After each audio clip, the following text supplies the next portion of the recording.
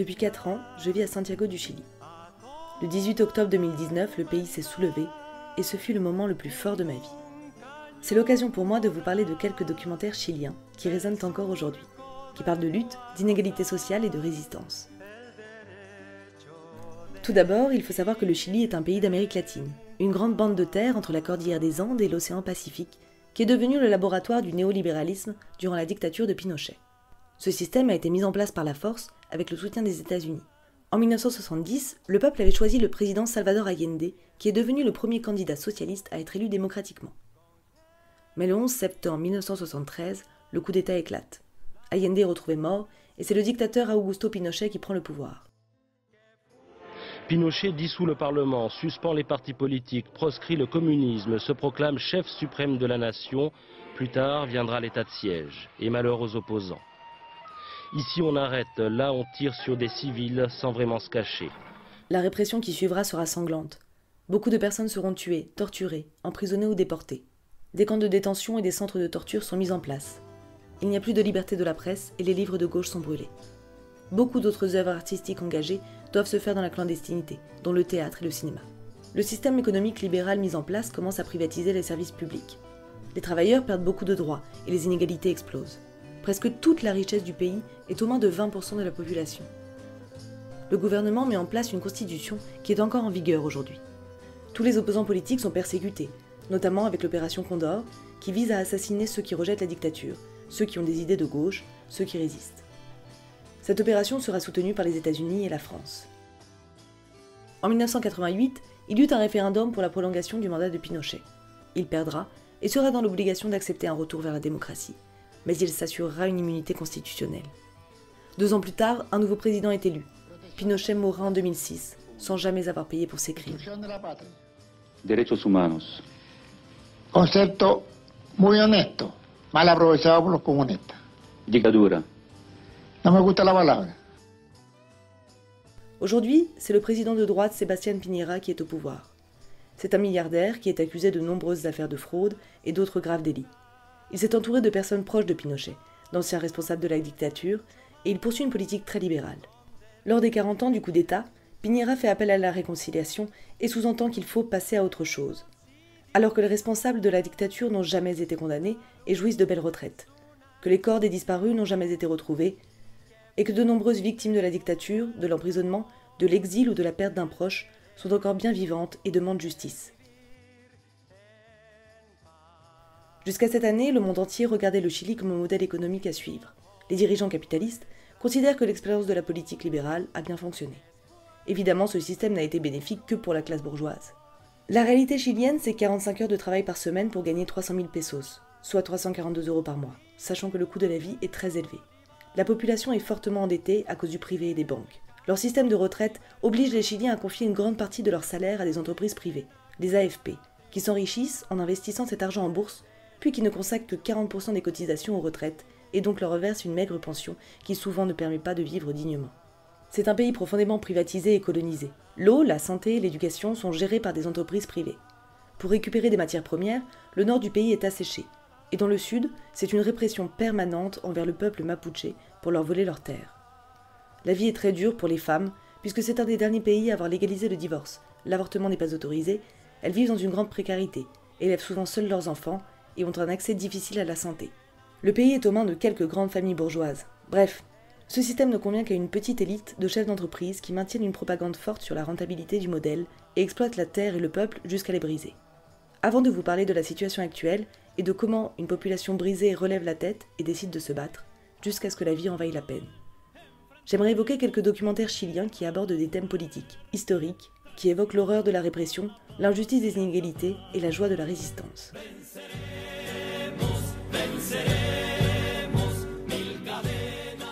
Pour commencer, le documentaire le plus connu et le plus complet sur l'histoire de la dictature chilienne est La bataille du Chili, réalisé en 1973 par Patricio Guzmán.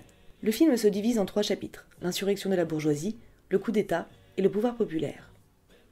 On y trouve des discours historiques, des assemblées de quartier, des réunions syndicales, des manifestations, en bref tout un portrait sur la vie politique chilienne des années 70. L'insurrection de la bourgeoisie raconte l'arrivée au pouvoir de Salvador Allende, élu démocratiquement, et la peur de la bourgeoisie face à ce gouvernement de gauche qui va tout faire pour provoquer le coup d'État.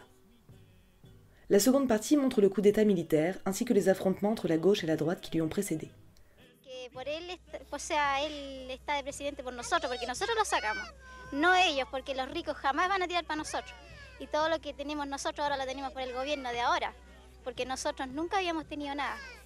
On y voit le bombardement historique de la Moneda, qui est le siège de la présidence et où mourra Salvador Allende après un dernier discours poignant. Enfin, la dernière partie parle des actions menées par le peuple, comme les grèves des travailleurs et les réunions pour tenter de mettre fin à la crise économique. Bien que très intéressante, la trilogie dure plus de 4 heures. Du coup, je vais vous présenter quelques courts-métrages bien plus faciles d'accès.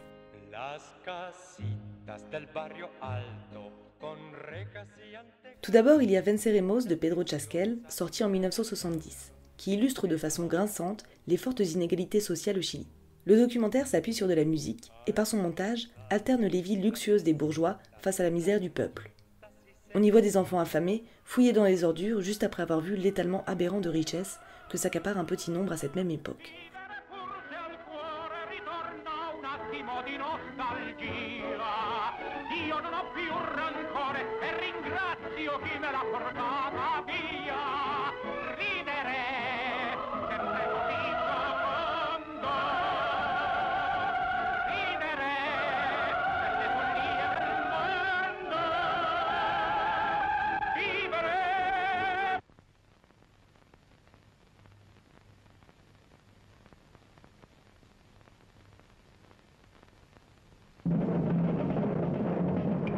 Il nous montre ensuite la répression policière lorsque les pauvres se révoltent, et cette succession de scènes insiste sur l'injustice qui règne dans le pays.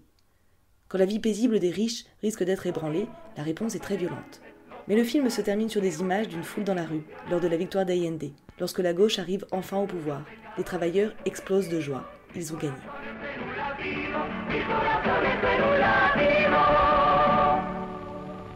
Le réalisateur Pedro Chasquel est un monteur très connu dans le cinéma chilien.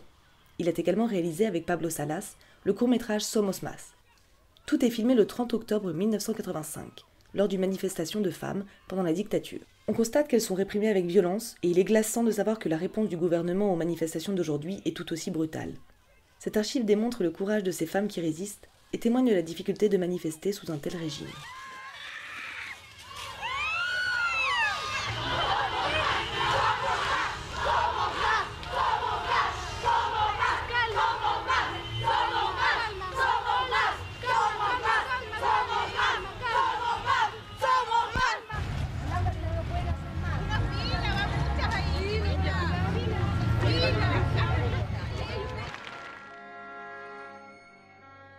On revient sur la dénonciation des inégalités avec le très beau film A Valparaiso, dont la voix off est en français.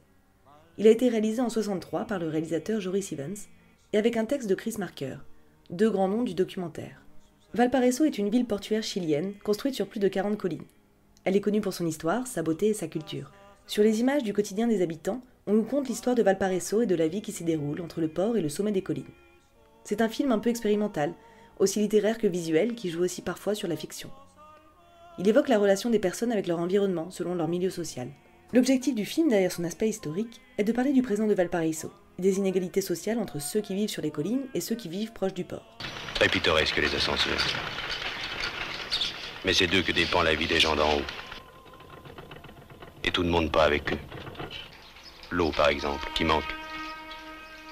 Pourtant le linge flotte. Les filles ont des blouses blanches. À quel prix les blouses blanches? Les visages propres, lorsque l'eau arrive par gobelet. À quel prix les choses les plus simples La toilette, la cuisine. À quel prix la volonté de vivre À quel prix le bonheur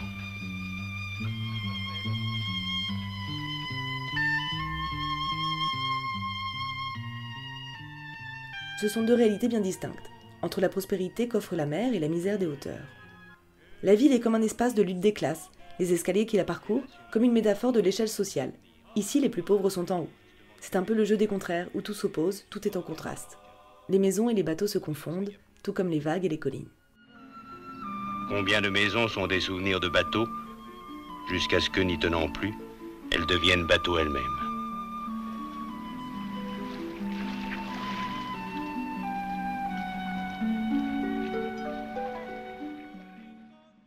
Dans les années 60, le cinéma chilien était très important et prolifique. On commençait à utiliser le cinéma comme un outil de changement social et politique. C'est le mouvement appelé El Nuevo Cine Chileno, le nouveau cinéma chilien. La dictature des années 70 arrêta immédiatement cet élan de création artistique et sociale qui enflait. Il y a deux copies du film, mais lorsque la dictature ferma la cinémathèque de l'Université du Chili, elles disparurent. Les boîtes des pellicules étaient toujours là, mais à l'intérieur, les films avaient été remplacés par d'autres.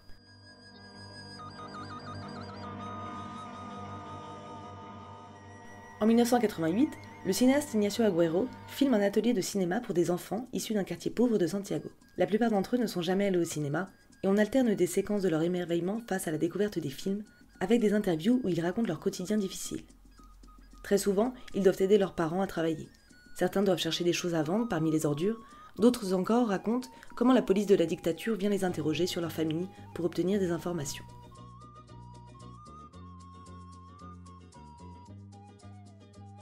En 2008, ce même réalisateur présente Le Journal d'Agustine. C'est un documentaire qui parle des manipulations médiatiques et des mensonges orchestrés par le journal le plus célèbre du Chili, appelé le Mercurio, qui collabore avec la dictature de Pinochet. On sait aussi que le journal de droite recevait de l'aide financière de la part des États-Unis afin de poursuivre la propagande et de soutenir le coup d'État. Entre 1974 et 1975, la DINA, la police politique de la dictature, fait disparaître 119 opposés politiques, principalement des militants du MIR. Avec la complicité du journal, le régime fait passer ces assassinats pour des règlements de compte internes entre personnes d'extrême gauche, afin de dissimuler le crime aux yeux de l'opinion publique. C'est ce que l'on appellera l'opération Colombo, ou le cas des 119.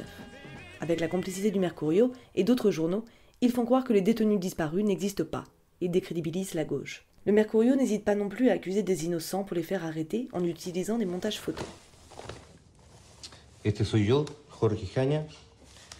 Eh, fui producto de esta foto, de esta publicación. Fui detenido sin saber por qué. Eh, la CNI me arrestó en mi casa, en mi domicilio, y eh, me llevó al cuartel de Borgoño, encapuchado, donde fui torturado eh, sin saber por qué. En septembre 76, un corps est retrouvé sur la plage.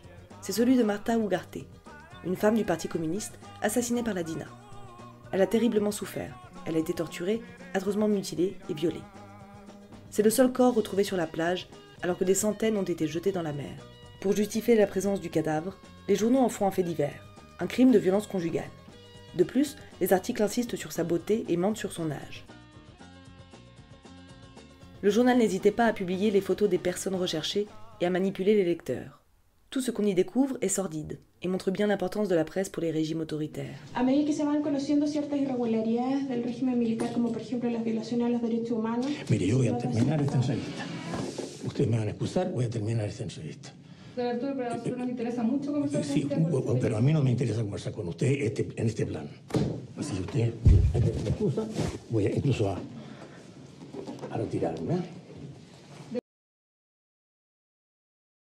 En 1994, c'est la cinéaste et militante Carmen Castillo qui réalise La Flaca Alejandra. Ce documentaire est un des plus troublants que j'ai pu voir, puisqu'on en sort avec des interrogations et des remises en question très fortes. Il est basé sur le personnage de Marcia Alejandra Merino, une ancienne militante du MIR, le mouvement de la gauche révolutionnaire, qui a été arrêtée par la DINA, la police politique de la dictature. Sous la torture, elle dénonce ses camarades. Par peur, elle va collaborer avec la DINA pendant 18 ans.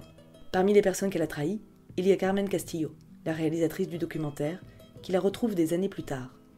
Ensemble, elles parlent de la mémoire, de l'horreur qu'elles ont vécue, mais aussi de la vie d'après. On ne sait jamais si on pardonne au personnage sa trahison, car on imagine que l'atrocité de la torture peut pousser à dénoncer ses propres amis. Ou si on la condamne, pour ne pas avoir réussi à s'échapper durant les 18 années qui ont suivi, et où le régime allait jusqu'à lui payer des vacances. Yo te puedo responder solo por mí, porque yo fui frágil, porque yo fui débil, porque aguanté tres o cuatro sesiones de tortura física y nada más. Yo no te puedo decir si ocho aguantó una, media hora, dos horas, diez horas, no. ¿Me entiendes? Es algo que tú no puedes dimensionar. Además que, Dios mío, si yo pudiera, tú- si yo encontrara palabras precisas para describir el horror, el horror que vivimos, los que estábamos detenidos en manos de la DINA, si pudiera encontrarlas. No las tengo, porque creo que no existen, no existen. Dans le film, on croise d'autres femmes militantes, mais aussi des témoignages de tortionnaires, et l'on revisite les lieux que la flaca Alejandra a dû traverser, comme des centres de torture ou des maisons. La rencontre de ces deux anciennes militantes, dont les vies ont été bouleversées, est déconcertante. Elles sont marquées à jamais par une histoire collective, et en même temps, tout semble les opposer, puisque l'une fut trahie par l'autre. La realidad se tuerce, brinca del hoyo al techo, se descarrila, se vuelca. Uno no sabe más, no puede más pensar como antes. Hacinados, con los ojos vendados, en la suciedad y el dolor, los prisioneros son presa de un juego atroz cuyas reglas no conocen. Lo único que saben es que deben aguantar, callar, resistir, tan largo como puedan. Pero está el dolor, y enloquecedor el miedo al dolor, y el tiempo, el tiempo que ahora pertenece al torturador.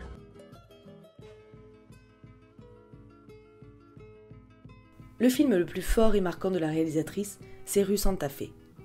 Dans ce documentaire, elle revient sur son histoire.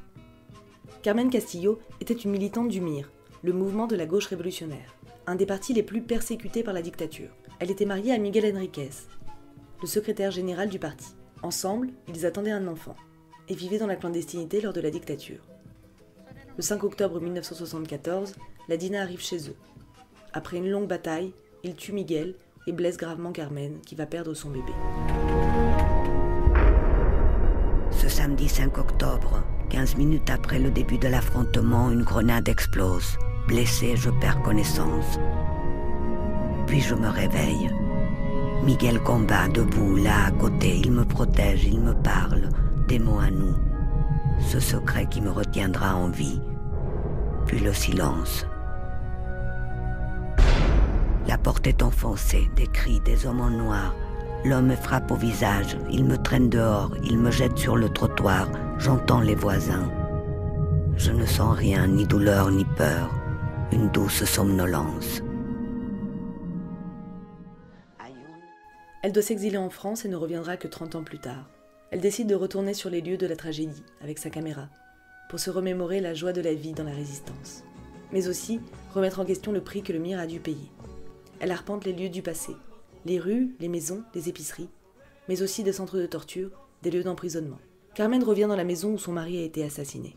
Elle parle de l'importance de récupérer les lieux de mémoire, et elle souhaite racheter la maison où Miguel s'est battu, où ils ont été heureux et où il est mort, afin d'en faire un lieu de rencontre pour tous ceux qui ne se résignent pas. Il y a de nombreuses rencontres dans ce film, notamment les témoignages de parents endeuillés, admirables de dignité et de force. Él es el retorno, sí. Pero los niños, Ellos ellos mueren todos juntos, sí, juntos. sí. Este es Rafael. Rafael. Y él es Eduardo. Este es Eduardo, sí. Mi Eduardo. Precioso Eduardito. Y Pablo, Pablo, está aquí. pero tenemos después una de Pablo chiquito. Sí, sí. Pero ellos son los tres. Sí. Los dos eh, que mueren el mismo día. El mismo día, sí. El 29 de marzo. y no hace bien y bueno y vemos a los hijos nuestros o a otros jóvenes que combatientes que, que los mató la dictadura vemos como nacen en la gente nueva y eso nos da alegría y nos da esperanza también que, que toda esta idea de cambio profundo de la sociedad chil- chilena se mantiene De nombreux anciens militants et militantes qui montrent que la vie, la dignité et le bonheur dans la lutte étaient plus forts que la terreur. On croise le passé et le présent.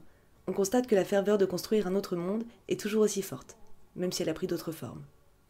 C'est un récit sur la clandestinité, l'exil, la difficulté de se reconstruire, d'être mère, de faire passer la lutte avant la maternité, mais aussi et surtout sur la joie de la vie en résistance.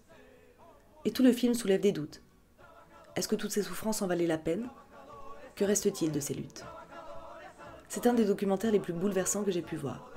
Yo vengo con mi hijo a dejar un clavel en homenaje a su padre, que fue asesinado hace 13 meses.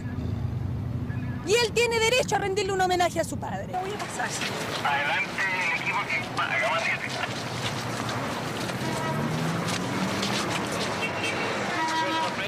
voy a atravesar porque esta es mi patria como es la de ustedes. Y ustedes son los que están cometiendo un error, no yo. No me toque a mi hija. No me toque a mí. Yo, ¿por qué no puedo caminar por mi patria? Ya me asesinaron a mi marido. Me detuvieron a mi padre. ¿Por qué no puedo caminar por mi patria? Trataron de la insólita sin sentido. Nosotros queremos ir medio. Ya, pase, vale. Geen rijden,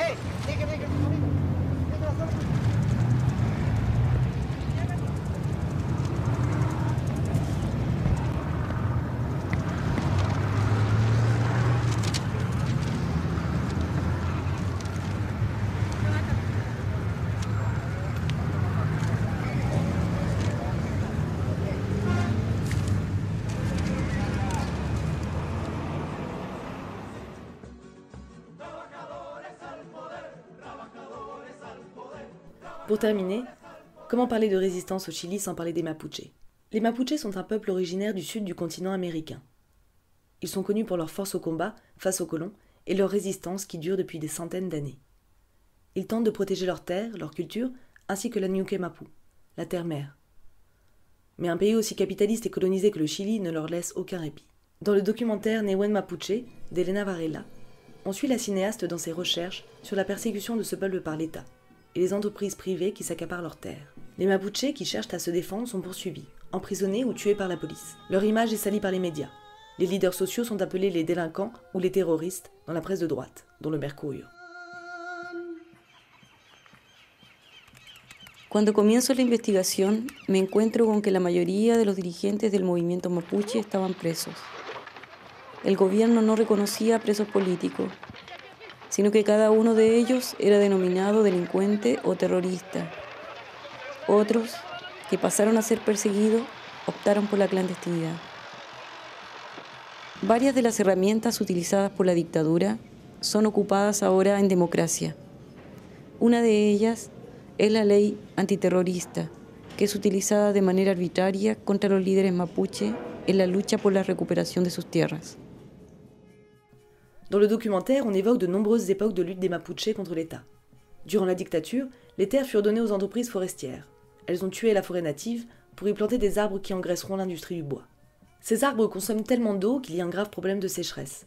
Les plantes utilisées par les Mapuches disparaissent et les points d'eau potable se font rares. On constate que toutes les institutions avides de bénéfices les menacent. Il y a des séquestrations, des tortures, des incarcérations et des meurtres déguisés. On entend des témoignages poignants de personnes endeuillées. On assiste à la colère d'une mère de famille qui vient de vivre une perquisition très violente. On y voit des terres militarisées en permanence, des prisonniers politiques, jusqu'à l'assassinat de Mathias Catrileo, une des victimes de cette politique capitaliste.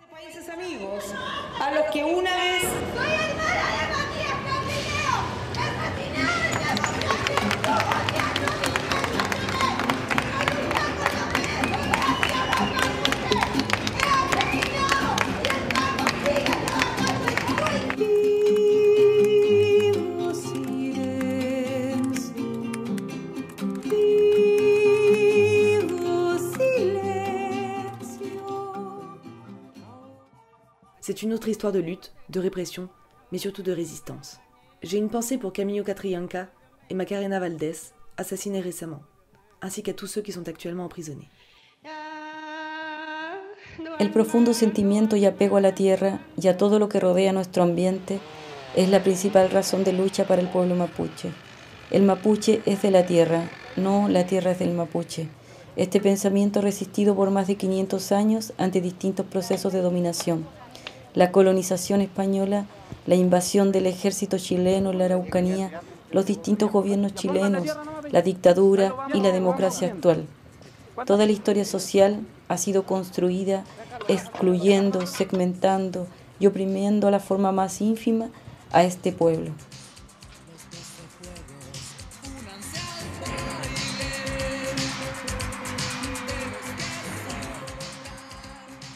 « 2019. On pensait que le peuple avait baissé les bras, que l'État capitaliste et policier les avait soumis. Seulement voilà, le Chili s'est réveillé.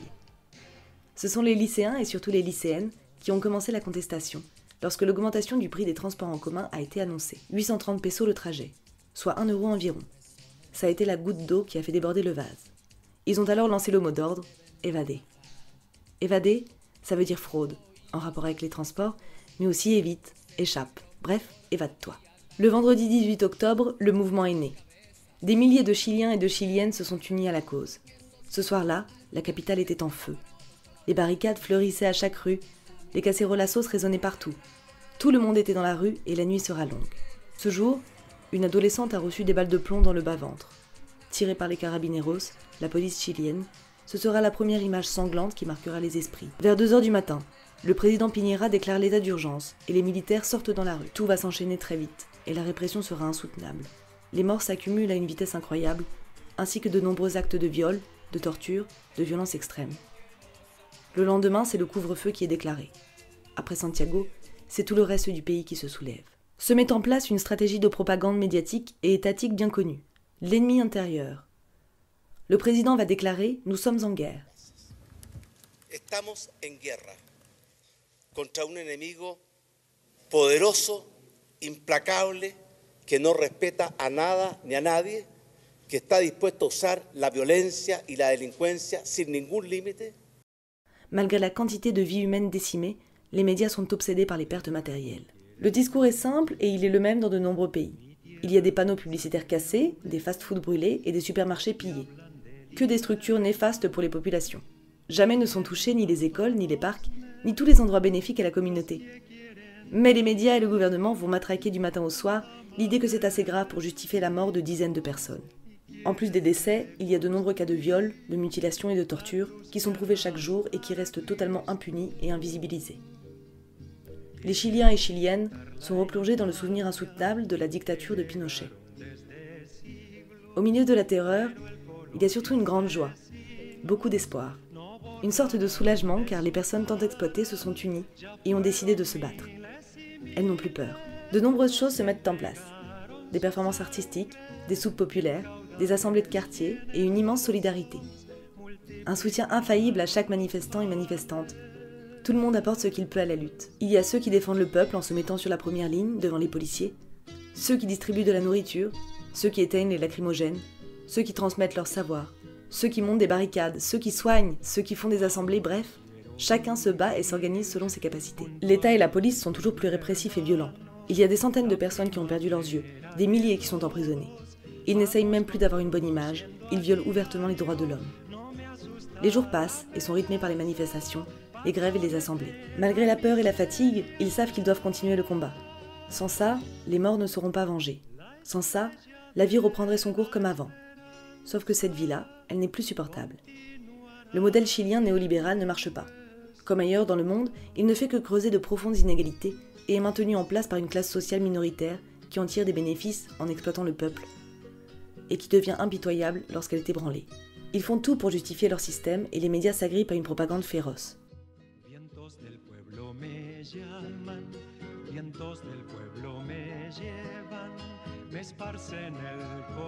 Je ne les oublierai jamais, ces manifestants et manifestantes si courageux et animés par l'espoir de détruire ce monde pour en créer un meilleur. Tant pis s'il faut passer par le chaos, la société qu'ils veulent construire sur les cendres est la plus formidable qui soit. Une vie de soutien collectif, loin de l'exploitation des uns par les autres, où tout le monde vivrait dignement, sans se tuer au travail, sans terreur policière, sans domination du capital, du patriarcat et du colonialisme. Ce mouvement a prouvé que la dictature est toujours tapie dans l'ombre du gouvernement, mais il a surtout donné la force à tous les résistants de s'unir et de se battre. La joie de la révolte est plus forte que la peur de la répression. Le peuple uni jamais ne sera vaincu. El pueblo unido jamás será vencido. El pueblo unido jamás será vencido. El pueblo unido jamás será vencido.